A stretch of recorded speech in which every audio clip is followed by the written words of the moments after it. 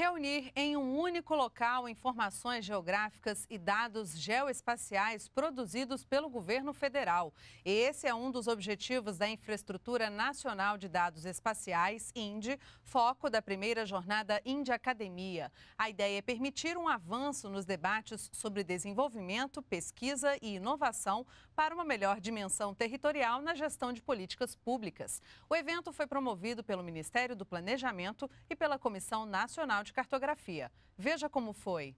Eu quero primeiro agradecer, em nome da ministra Miriam Belchior, em meu nome como presidente da CONCAR, dar as boas-vindas e agradecer a todos que aceitaram o convite e que estão aqui participando conosco nesse, nesse espaço de colaboração e de contribuição entre universidade, gestores públicos, instituições de excelência como ENAP e IBGE. Eu acredito muito que essa colaboração entre gestores públicos, universidade, esse aprimoramento de um conhecimento de forma cooperativa, de forma colaborativa, pode contribuir muito com as políticas públicas. Acho que esse evento ele pode ser muito, pode ser, pode inaugurar uma ampla rede de contribuição, de relacionamento com, com a universidade, com gestores públicos, para que nós tenhamos o aprimoramento, o desenvolvimento dessa plataforma que é a Infraestrutura Nacional de Dados Espaciais. Então, esse momento é muito importante para nós, principalmente como presidente da CONCAR, que tenham essa responsabilidade de coordenar a política de geoinformação no governo, construir essa política na realidade. Nós precisamos nos unir e, num processo participativo e colaborativo, construir uma política de geoinformação para o país. Isso é muito importante. Essa é uma tarefa que é, diz respeito à CONCAI e que nós pretendemos levar adiante e que eu espero que esse evento de hoje traga também, além, é claro, do nosso objetivo central de disseminar a INDE, de buscar formas de desenvolver melhor esse instrumento fantástico que, principalmente o IBGE, em colaboração com todos os que participam da CONCAR, entregou ao, ao governo federal e aos governos estaduais. É um instrumento já bastante robusto, é, e muito importante, mas nós precisamos ainda desenvolvê-lo e esperamos contar com a colaboração de vocês para isso. Além disso, eu espero que este evento traga bastante informação e sugestões para o processo de construção dessa política de geoinformação. Esse é o nosso objetivo principal hoje. Também é um dos outros, um, uma outra tarefa importante da CONCAR disseminar a Índia.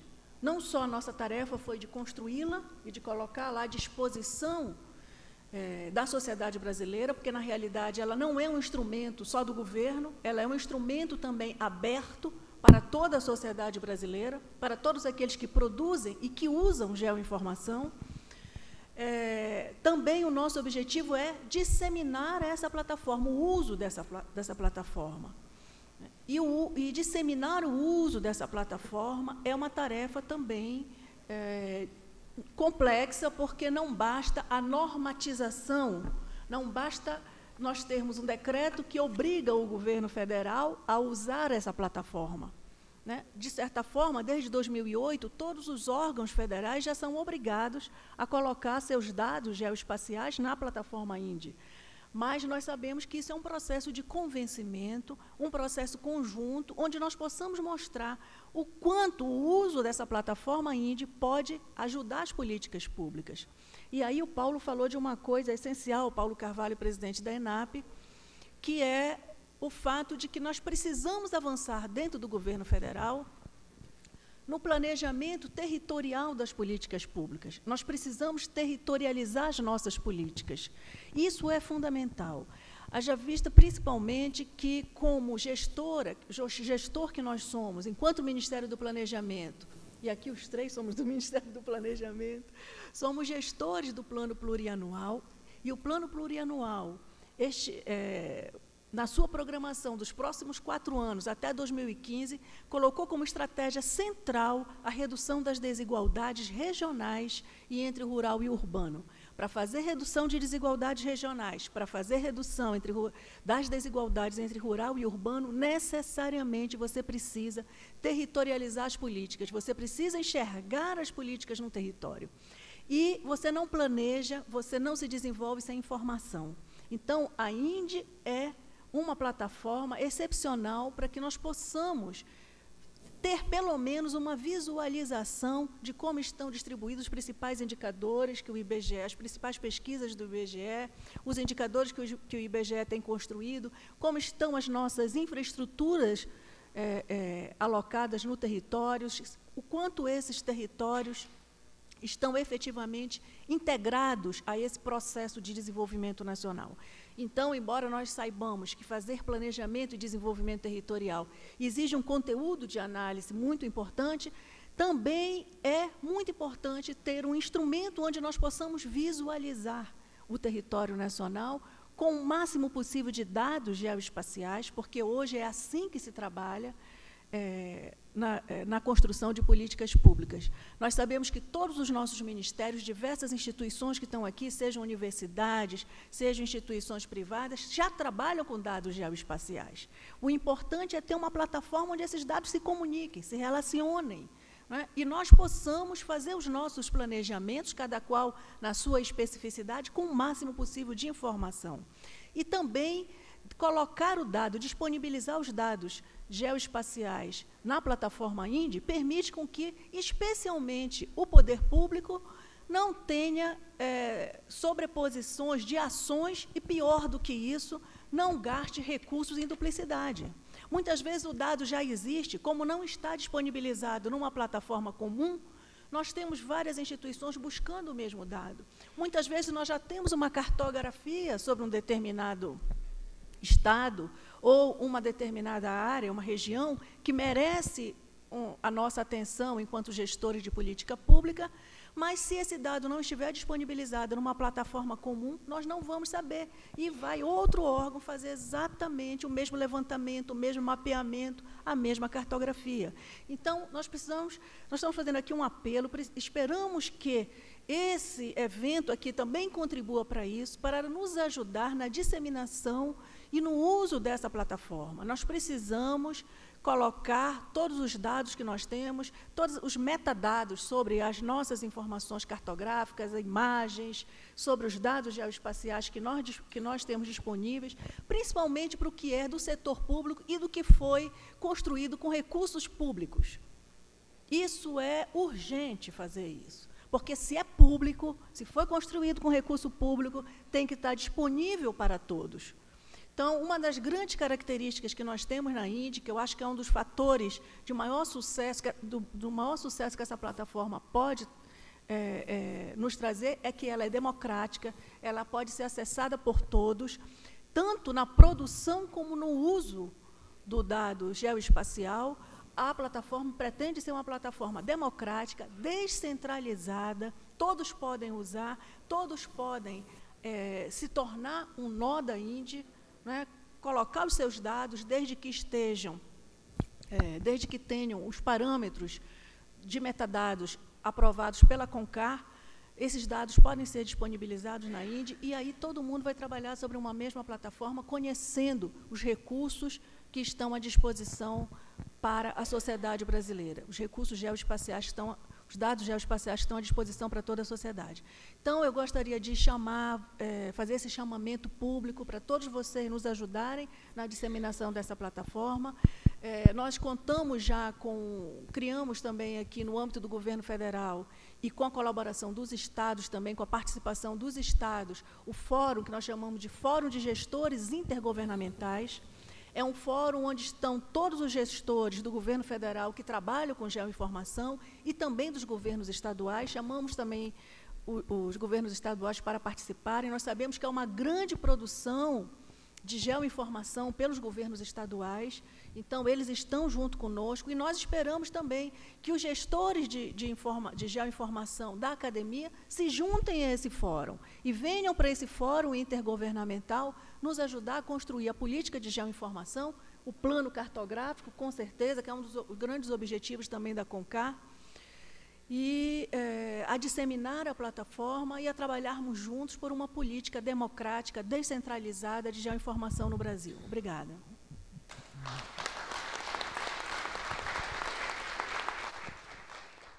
Eu acho que eu estou cercada, acho que das duas grandes figuras que são centrais nesse processo de implementação da infraestrutura nacional de dados espaciais brasileiros. Brasileiros é a, a infraestrutura ela, ela, ela será tão rica e tão, e tão é, aprofundada, não só tematicamente, mas em termos de cobertura, é, da sua cobertura geográfica, temática, espacial, enfim, é, quanto mais rico for é, as interrelações que nós consigamos estabelecer entre diferentes é, atores.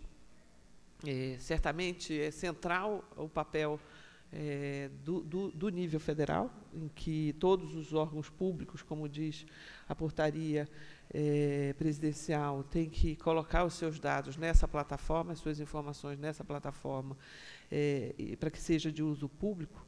Mas essa, essa, essa plataforma institucional que garante a participação dos estados, dos municípios, é, da academia e dos diferentes gestores pode, de fato, é o que faz de fato, é, vai fazer a diferença em termos de implementação da, da infraestrutura nacional de dados espaciais. É, nós temos avançado no sentido de desenvolver um portal que é, possa abrigar é, os dados da INDE, temos avançado no sentido de criar um visualizador que possa ser um instrumento, que eu acho que ele é até um instrumento de, de, de, de de mobilização, porque na medida que os, os, os leigos possam ver a importância é, é, da, da, utilização desses dados, o que, que se pode fazer com, com, com, as informações ali depositadas, eles acabam ficando mobilizados, né? todos os nossos outros companheiros gestores que não necessariamente entendem é, é desse processo mais profundamente, é, e temos avançado também no sentido de criar cursos, que tem sido, inclusive, o ENAP tem sido parceiro no sentido de nos hospedar é, para a realização desse curso. Tem outra rodada agora em outubro, é, que vai incluir, incluir curso de, de gestão de geosserviço e de metadados, que é, que é, que é, que é fundamental é, para o para o enriquecimento dessas, dessa base de dados da Infraestrutura Nacional de Dados Espaciais. Então, a INDE ela ela ela está crescendo, mas ela tem que crescer, ela só consegue crescer assim, né, com a participação de todos. É, não não será meramente o decreto, né, mas simplesmente é, com, com conquista é, que se pode fazer para um projeto que vai beneficiar todos. Né. É, tem um mote que a equipe do IBGE tem usado nas suas apresentações, que eu acho bastante rico, é fazer uma vez e usar muitas vezes é, o princípio que tem norteado é, é, essa a gente sabe o quanto quão caro é, quão custoso é, caro não, custoso, é a geração de informação geoespacial e a utilização dela é, de forma integrada por diferentes atores é, é a que, que pode, de fato, tornar viável que nós possamos ter uma base de dados rica e compatível com os desafios mencionados é, pela Esther de, do, do, desenho da política pública, do monitoramento, do planejamento do país. Né? Num país deste tamanho, certamente é, os desafios não, não são pequenos. Nesse sentido, a academia é, tem, tem um papel importante, nós julgamos, não é à toa que a primeira a primeira é, jornada Indy ela é com a academia, né, porque é um, é um é parceiro importante de ser mobilizado, de, e que tem contatos e tem, tem reflexões que, que devem ser apropriadas pelo, pelo processo de implementação da Índia. Então, essa jornada de dois dias e meio é, será extremamente rica, tenho certeza, de sugestões, de colaborações, para que nós possamos avançar, como mencionado pela Esther, não só na implementação da, da INDE, mas também na, na, na, formulação, consolidação e implementação de um, de, um, de um plano cartográfico nacional, de uma política que ele possa, é, hoje em que as tecnologias é, estão disponíveis, né, porque a gente hoje pode criar é, com relativa facilidade uma vez que ela está na mão de todos nós, né? assim mesmo dos leigos. Então, nos apropriarmos de todos os ganhos é, que essas novas tecnologias e os arranjos institucionais que estão sendo propostos agora podem beneficiar aos diferentes atores que participam da Índia. Então, nós queremos, na verdade, é fazer esse chamamento né, a todos que participarem, para participarem é, dessa, dessa jornada. Né? Começa com a jornada é, da Índia, da academia, mas existirão outras jornadas índias, e, e o convite é para a jornada de implementação desse grande projeto. Muito obrigada.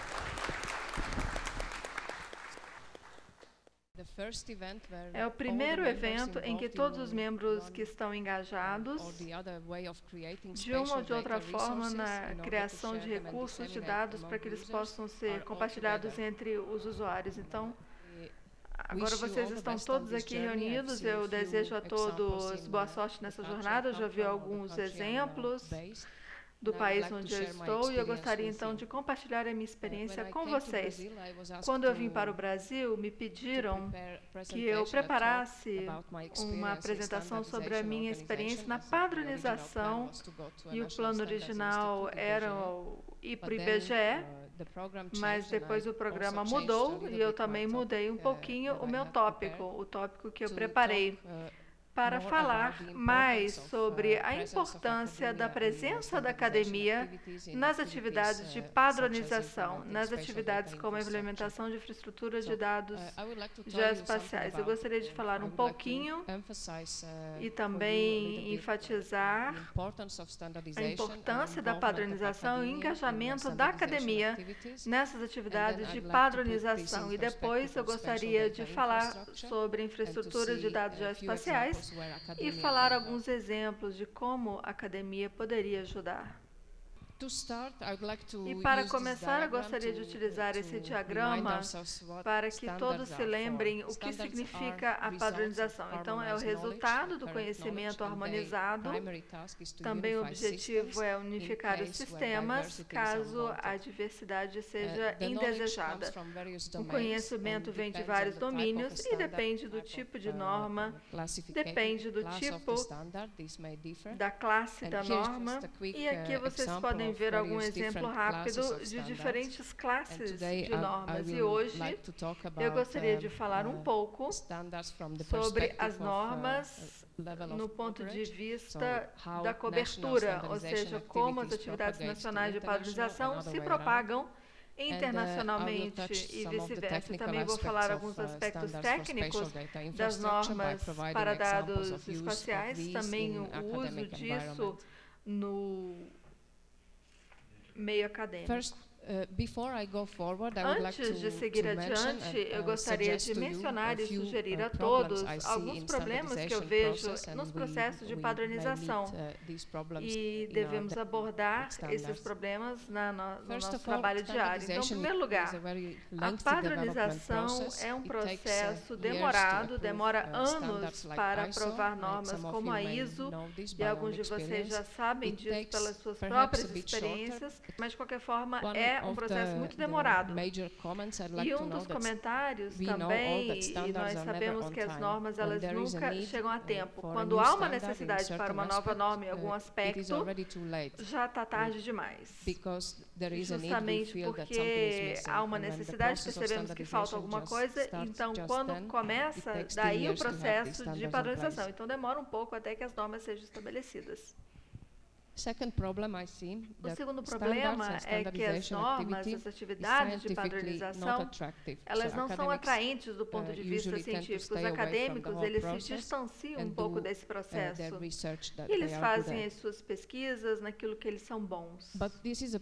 Mas esse é um problema que é bidirecional. Então, os esforços também feitos por uh, cientistas em vários domínios em vários ramos da ciência, às vezes são negligenciados e às vezes não são levados em consideração, uma vez que as normas são colocadas em prática. Então, essa é a minha opinião pessoal, mas eu acho que alguns casos são reais também. Second, uh, next problem, o outro uh, problema that, uh, que eu costumo ver é que não há tradutores suficientes ou máquinas ou esforços humanos para fazer a tradução desses esforços de padronização internacional e que seja então embutido no ambiente local. Não apenas a questão da linguagem, mas também o problema de tradução do domínio. Ou seja, a linguagem às vezes é o menor dos problemas, mas a tradução de conceitos fornecidos por padrões e a sua uh, aplicação em domínios específicos de aplicação. Então, aqui é que está a dificuldade. E outro problema óbvio também é que às vezes nós temos muitas normas, ou seja, para informações geográficas, por exemplo, nós já temos 60 normas e talvez é um pouco difícil navegar e saber exatamente qual é mais importante, qual é menos importante de ser implementada na construção de uma infraestrutura de dados geoespaciais this the a classificação das normas da perspectiva do seu uh, desenvolvimento, que aparece aqui nesse uh, slide como sugestão. Então, aqui é a perspectiva de quem está uh, desenvolvendo as normas. E eu observei, então, as normas para informação geoespacial e estas são as normas da ISO 900. Então, há alguns aspectos aqui, o funcional e o técnico. E aqui, as normas técnicas são desenvolvidas por profissionais de TI, aqueles que trabalham com a informática, e funcional são desenvolvidos pelos especialistas do domínio. So, GI scientists então, como eu disse, normalmente eles, esses especialistas eles têm o domínio da semântica, do conceito, da terminologia que é utilizada num domínio GI. Também eles conhecem a modelagem, como nós estruturamos a realidade em conjuntos de dados espaciais e qual é a relação entre os elementos dos conjuntos de dados. Também eles têm experiência com relação à qualidade. O que significa qualidade nessa ciência de dados geoespaciais e informações geográficas? E também eles têm experiências de vários domínios em que essa informação geográfica é utilizada e como ela pode ser uh, utilizada. E o especialista de TI, eles conhecem a interface de software e hardware, formatos, transferências entre diversos sistemas. E eu acho que a coexistência desses dois pontos hoje em dia é essencial na medida que estamos agora no mundo digital e na sociedade da informação. Nesse diagrama, uh, eu gostaria de mostrar para vocês a coexistência de várias uh, organizações de padronização. uh, e algumas dessas eu falarei com mais detalhes mais adiante provider então, of expertise o de experiência, nós temos view, os órgãos nacionais, eles fornecem uh, especialistas e candidatos também para a padronização, ou seja, para que ajudem no desenvolvimento de um uh, padrão, de uma norma. Em nosso caso, nós temos três uh, comitês de padronização na ISO. Temos o comitê técnico para informações geográficas, também comitê técnico para transporte e tecnologia da informação. Nesse esses três comitês, eles nomeiam uh, especialistas para ajudá-los na produção de normas. Então, obviamente, os especialistas de domínio, eles são nomeados por essa organização. E uh, também padronização nacional tem várias ligações, uh, não apenas comitês internos que trabalham nessas normas, mas também fora. Então, especialistas de diferentes organizações que se relacionam com o domínio onde as normas normas são construídas. Então, uh, todos estes órgãos, nacional até o nível internacional, têm o objetivo principal de servir a, a comunidade implementadora. Então, entre os usuários, por exemplo, de informações geográficas, assim como produtores e usuários, como já foi mencionado antes. Então, o objetivo aqui, enquanto produzimos as normas, é uh, ajudá-los, aqueles que querem utilizá-las. E este uh, esforço também há outros eventos que são levados em consideração, como, por exemplo, eventos como a criação de infraestrutura de dados espaciais, também os requisitos para adoção uh, e implementação, e estes requisitos são levados em consideração pelos órgãos Nowadays, de padronização. E agora há já um órgão uh, desenvolvido de padronização e outros ainda like to, surgirão. To então, eu gostaria de falar um pouquinho uh, agora sobre três organizações principais com as quais eu tenho experiência e também gostaria de enfatizar qual é o papel da academia nessas uh, organizações, uh, ou seja, onde está o local da academia nessas organizações. Uh, então, em primeiro lugar, temos esta Comitê de Informação Geográfica, a organização mais importante é a ISO, Comitê, Comitê Técnico 211, que produz a família das normas para informações geográficas. Este Comitê Técnico 211, ele foi fundado em 1991, depois de atividades de revisão no âmbito regional e na Europa, para ser mais precisa, e hoje em dia uh, já possui 34 membros participantes e 30 membros observadores. A diferença entre os dois é que os membros participantes eles têm o direito de votar na aprovação da norma. Uh, e o que é mais importante, é, temos mais do uh, que 40 instituições vinculadas e outra também com um consórcio para implementar as normas ISO. Uh, interesting Uh, observation Também outra observação, outro fato interessante é que a ISO TC211 não tem fins lucrativos, ou seja, ninguém está ficando rico trabalhando com estas normas, com estes padrões. Uma visão geral das normas, como eu mencionei, atualmente nós temos mais de 60 projetos, com os quais mais de 30 já foram aprovados como normas ISO, e o resto está em fase de uh, desenvolvimento. O procedimento das normas ISO normalmente demora cinco anos, então é o período mínimo, mas às vezes dura mais. Então, uh, essas normas ISO, elas cobrem infraestrutura, aspectos de informações geográficas, Uh, também normas para modelagem, uh,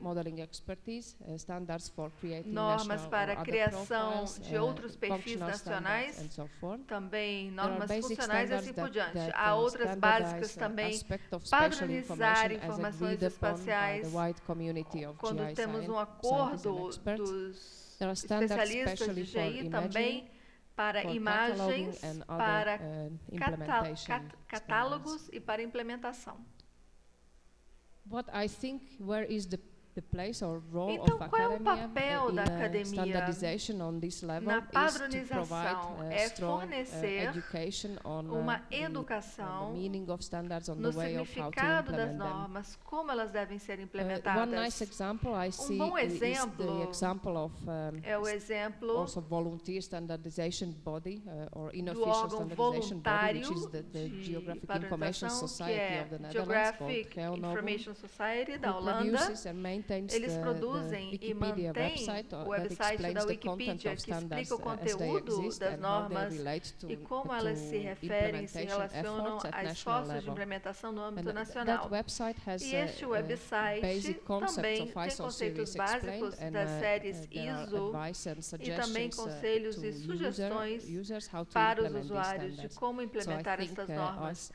Então, eu acho que nós, da academia, the people that, that should de contribute fato, in the somos as pessoas que devemos page. contribuir também para o conteúdo uh, desta página. Next example is o to outro embed, uh, exemplo, uh, existing standards into temos normas into existentes e For example, at University Twente, we teach spatial data Nós também ensinamos a modelagem de dados espaciais e como traduzir isso em dados espaciais. Então, nos referimos nas normas da ISO para modelagem de dados espaciais, tentando utilizar sempre essa terminologia tecnologia, a sua Another linguagem de modelagem. Uh, Outro uh, exemplo é uma disciplina sobre a qualidade de dados espaciais que se refere à qualidade uh, ISO.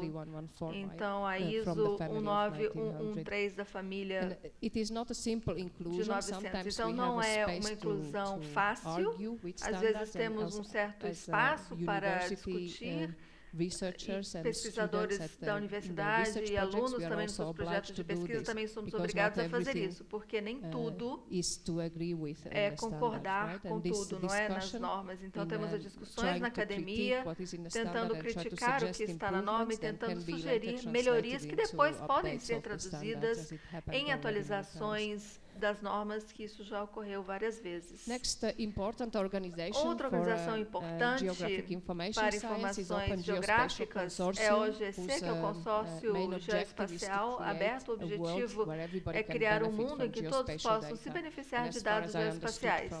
E pelo que eu entendi aqui das intervenções anteriores, isso também é um dos objetivos principais dessa infraestrutura nacional aqui, ou seja, fornecer acesso a a estes dados geoespaciais. Essa organização é um consórcio uh, industrial internacional em que empresas, uh, governo, agências uh, e universidades trabalharam juntas. Então, não tem, ou seja, tem normas de facto So, uh, por conta das demandas do then, mercado. Then Isso depois se uh, reflete no, no, processo de desenvolvimento, so que é, é menor. Então, se há uma demanda para uma norma, then, se aparece essa demanda para uma norma, então essa norma ela pode ser implementada mais rapidamente, ou pelo menos a sua primeira versão. Temos aqui alguns exemplos desse OGP, OGC, perdão, que vocês uh, devem conhecer, e a lista está crescendo so very often new Com muita frequência, novas normas estão surgindo desse consórcio uh, geoespacial aberto. Outro exemplo também em que a academia se encaixa nessa organização, uh, o exemplo é de onde eu trabalho agora, na Universidade de Ciências da Informação, e somos um membro acadêmico do OGC, e realmente é muito benéfico porque estamos engajados nas discussões sobre nossos esforços, estamos engajados também na implementação de novos projetos. Então, nós temos uma ideia, ou seja, uh, também ajudamos os colegas a como cumprir uh, com as normas. E muito do nosso pessoal, alunos de PhD também trabalham neste uh, consórcio. Isso também é benéfico, é um caminho de mão dupla. Então, quando os alunos fazem suas teses de PhD num tópico que precisa de padronização, então eles são muito ativos então, esse trabalho depois da tese pode ser uh, traduzido numa especificação específica. Então, eu uh, estou engajada, por exemplo, em grupos de trabalho desse consórcio geoespacial data quality, qualidade de dados, uh, metadados, nós discutimos uh, e criticamos, sense, não no sentido negativo, mas fornecendo opiniões e revisões no âmbito internacional a respeito de metadados. E também o, o domínio de grupo de trabalho da universidade que uh, tem essa tarefa. E aqui é o local onde os acadêmicos podem ser muito úteis. Agora, outros exemplos mais detalhados sobre o grupo de trabalho de qualidade de dados e a sua relação com uh, ISO. Então, atualmente, nós temos uma atualização para as normas de qualidade de uh, dados e aqui temos uh, uma versão do grupo de trabalho, comentário do OGC. Estamos engajados também em atividades relacionadas com os GIOS, que é o Sistema de Observação global, então tratamos destes dados e comentamos também sobre estes esforços. Outro exemplo de organizações de padronização é um exemplo europeu, um comitê de informações geográficas. Esse comitê ele tem uma história um pouco estranha. Ele foi fundado, depois morreu, depois uh, foi fundado novamente. Então, eu estou sendo informal dizendo que ele morreu durante um tempo, mas ele existiu durante nove anos e foi antes de, desse comitê uh, técnico existir, 211, e o Comitê Europeu de Informações Geográficas foi o primeiro a padronizar a ciência GI como resultado produziu normas e relatórios técnicos para fornecer modelos de referência para informações geográficas, por uh, exemplo, e normas também a respeito da qualidade nacionais de dados e assim por diante. When the committee stopped e quando o comitê parou de funcionar, então o comitê técnico da ISO foi fundado, então o processo de padronização e do desenvolvimento de normas realmente nunca foi interrompido. When e depois, quando o Comitê Europeu voltou com as suas atividades, todo o trabalho uh, anterior foi cancelado e o processo da adoção de normas internacionais no conjunto de normas europeias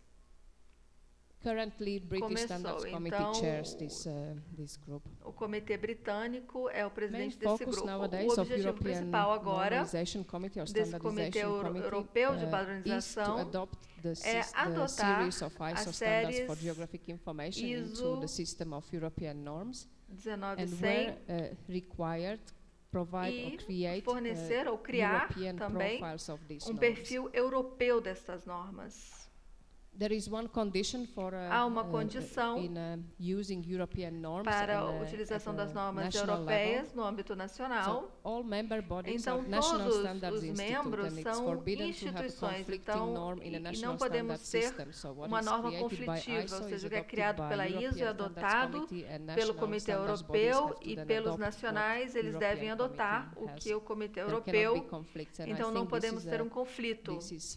Então, é pela razão de ter uma visão harmonizada a respeito do marco information. conceitual a respeito de informações Uh, geográficas. During the years of 2003 and Durante 2007, there was 2003 e a, an interesting 2007, body uh, Tivemos functioning também um outro órgão in, que funcionou uh, European Normalization Committee and no Comitê Europeu. Committee for Geographic Information, and this was the so-called advisory group on e foi outreach um that grupo has the main consultivo task to de educate alcance. on Então, o standardization objetivo era educar nas Nowadays, this uh, atividades group de padronização. Esse grupo but não the- está mais funcionando, standards is still mas uh, ainda está preservado o trabalho que eles desenvolveram sobre uh, educação. Também há outro esforço feito uh, por essa is comunidade the- the formalizado e o esforço, então, para uh, criar um perfil europeu para dados geoespaciais.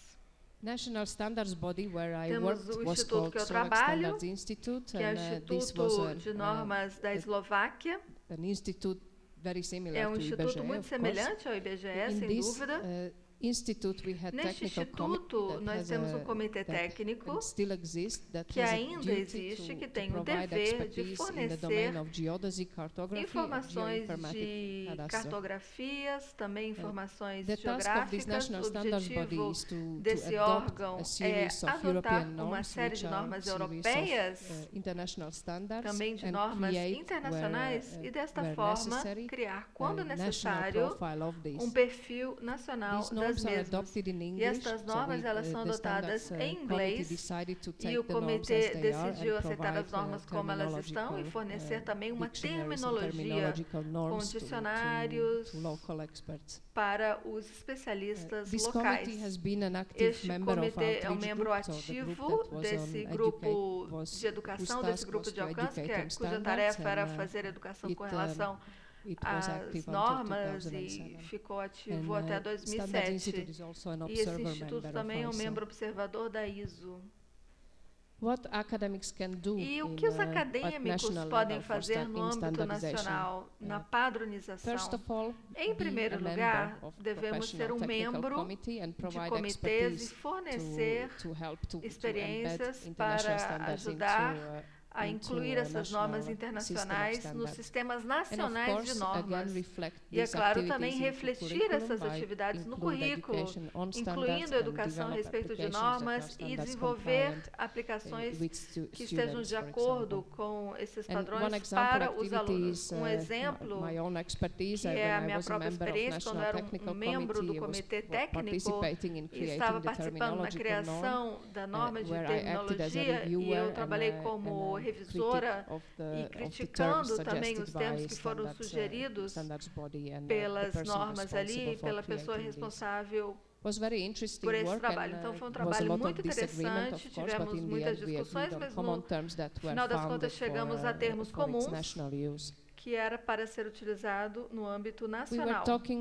This, uh, Também conversamos neste seminário, vocês vão discutir aqui nos próximos dias sobre infraestrutura de dados espaciais, sobre o que isso significa e como nós podemos fazer com que isso seja funcional e ainda melhor. Então, apenas para relembrar que a infraestrutura de dados espaciais serve para os usuários de diversos tipos, diversas profissões, até os que não têm muitas informações, que utilizam essas uh, informações geográficas, também outros que vêm do setor público ou não.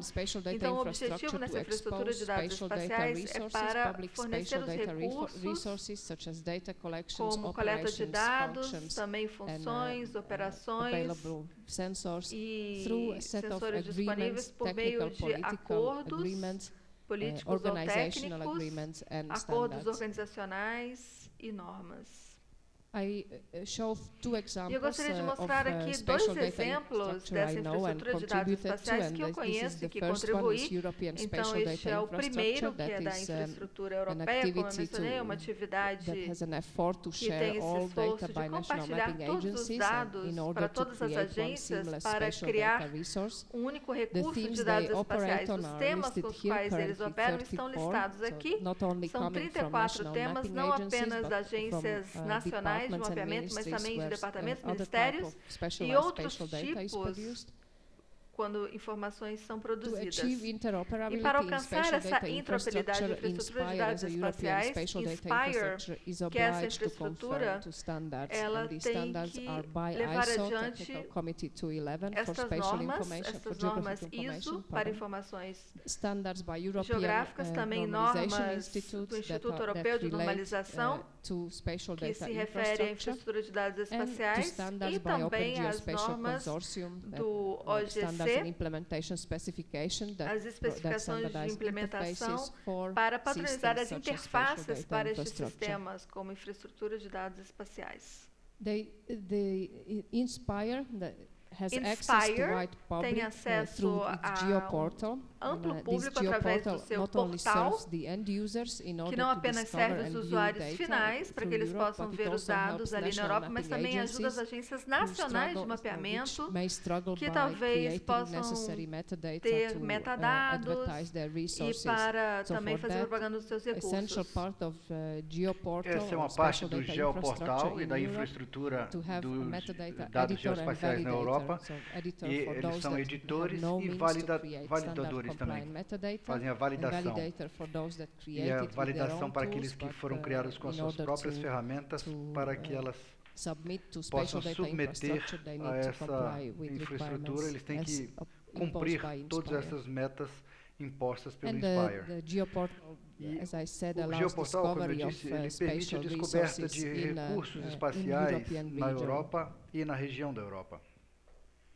National activity related a atividade nacional relacionada com a infraestrutura, infraestrutura de dados espaciais, que,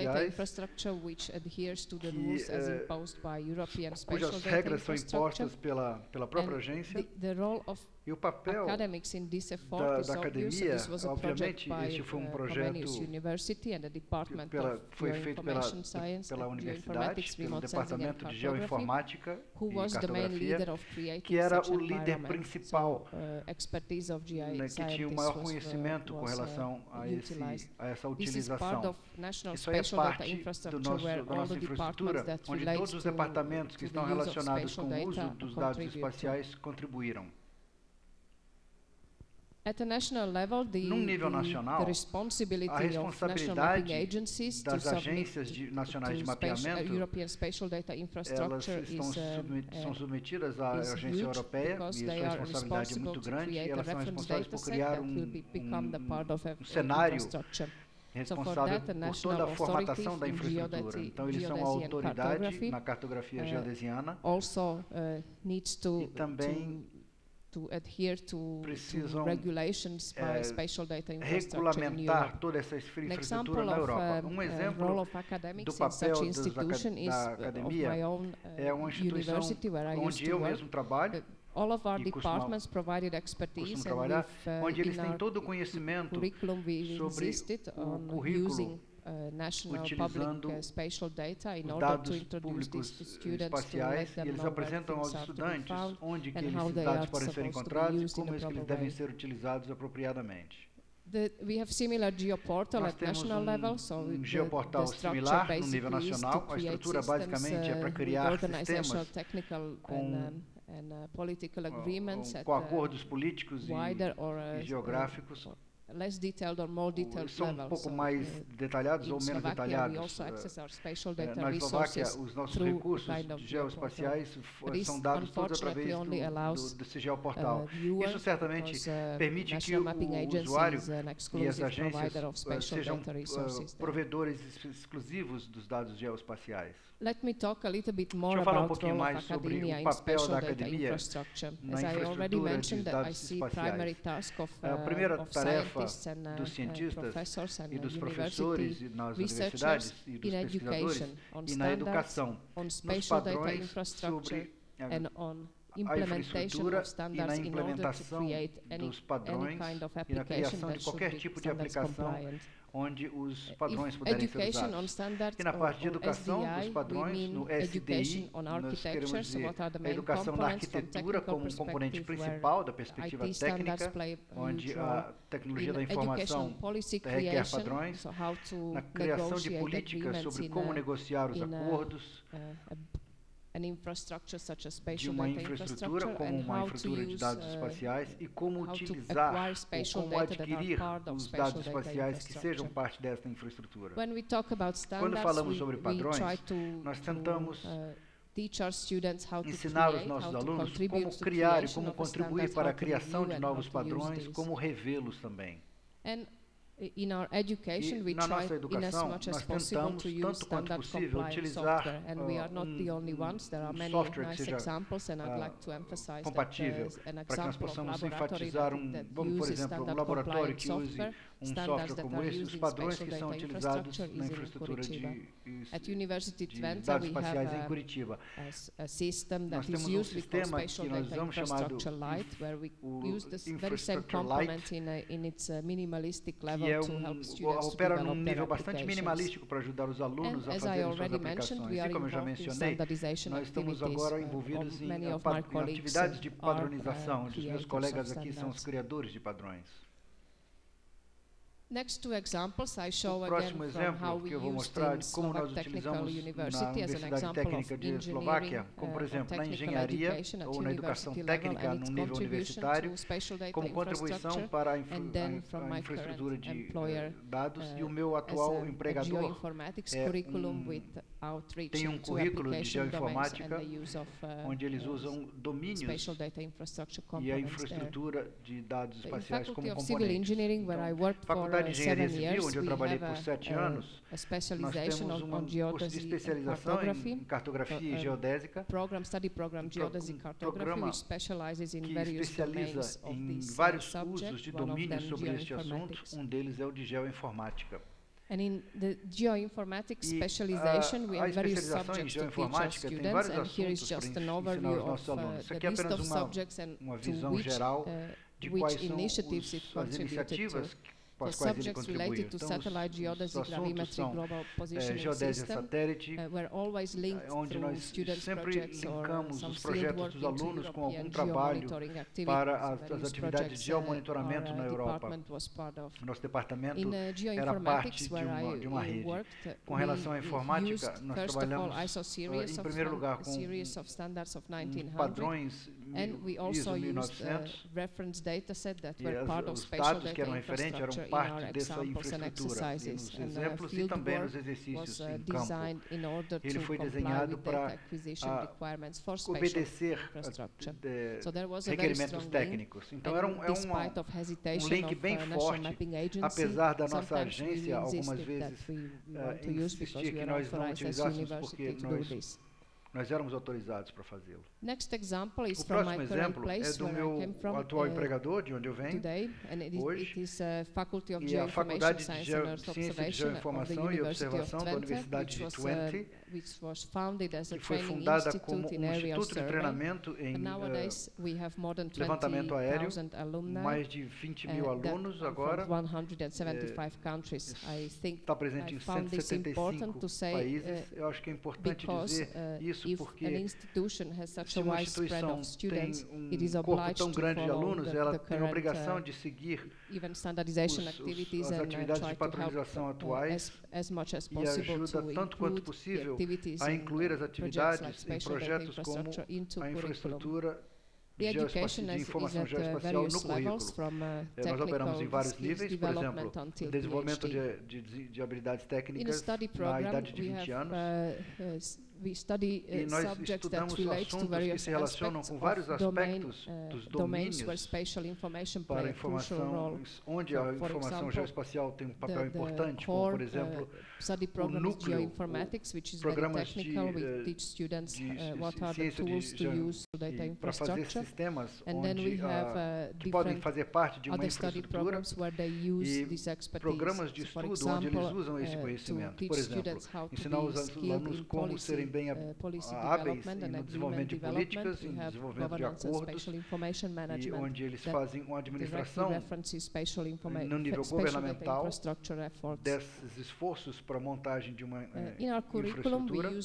no nosso currículo, eu mencionei uma abordagem chamada SDI Light, que é uma infraestrutura de dados espaciais, numa perspectiva técnica e arquitetônica, onde ela obedece à aplicação um sistema de aplicação como uh, o GIS4 server e applications, de, uh, map server, geoserver estocagem de dados, uh, como dados publishing uh, através do nosso GeoNetwork, apenas uma, aplicação de uh, catálogos que são essenciais para uma infraestrutura uh, de dados espaciais. e ambientes que permitem acesso a esses recursos que são normalmente usados por uma diversidade de usuários como programas de aplicação, interface com websites, com dados espaciais, através de softwares específicos. um outro exemplo é esse é um exemplo de uma lista de padrões comumente usados no nosso currículo. Em vários assuntos nós nos referimos a eles dependendo do conteúdo. Data modeling and conceptualization standards or modelados em dados, ou modelados em normas, or metadata standards. Uh, so we have subjects on metadados interface for spatial data que agem de acordo com o que a infraestrutura determina. We use interfaces Nós usamos interfaces desenvolvidas pelo, pelo consórcio they, and, uh, I forgot aberto, to mention eu esqueci de mencionar que essas interfaces são adotadas ou implementadas como padrões ISO, então uh, existe um relacionamento que é mantido, uh, e nós usamos padrões que são fora dos, do domínio de, uh, de informações, mas estão colocando os nossos dados, a nossa estrutura de dados dentro de um uso dentro da, da, da internet. Of, uh, então, este aqui é um exemplo de, de, um detalhe da nossa abordagem, criando uh, dados so, através de um fenômeno. Uh, Quando nós criamos dados ou modelos, nós nos referimos como uh, padrões e esquemas especiais, use, implementando uh, eles. Nós temos especificações implementadas pela OGC, então ela, ela So acaba criando uh, vários tipos. Então, o papel, é, essa aqui é apenas uma demonstração de como você tirar vantagem da existência de uma grande variedade de padrões e currículos atualizados. In summary, I would like em resumo, eu uh, gostaria de uh, enfatizar uh, e mencionar o que eu penso que é um ativo da, da academia que pode ser colocado em uso nos esforços como uma montagem de uma infraestrutura de dados espaciais. Nós, acadêmicos, é que temos o conhecimento nos quais os padrões são baseados. É o que nós chamamos de padrões GI Science ou de engenharia GI. Nós criamos uh, um padrão formal que deve servir a GI Science na criação dessas normas.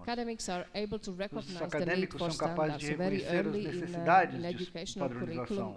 No nosso currículo acadêmico, os acadêmicos são os primeiros a determinarem como uma coisa deve ser padronizada ou normatizada, onde quando um novo padrão precisa ser criado.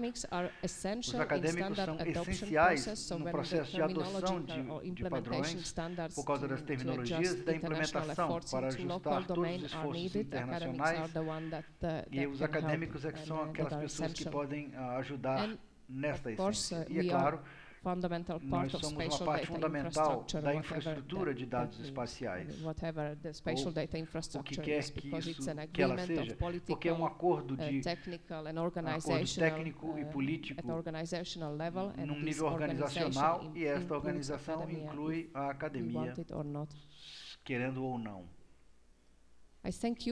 Eu agradeço pela sua uh, atenção. Eu espero que eu tenha contribuído com isso, pelo menos um pouco, para os seus esforços, que eu acho que são fantásticos. E eu desejo a vocês muito boa sorte. Muito obrigado.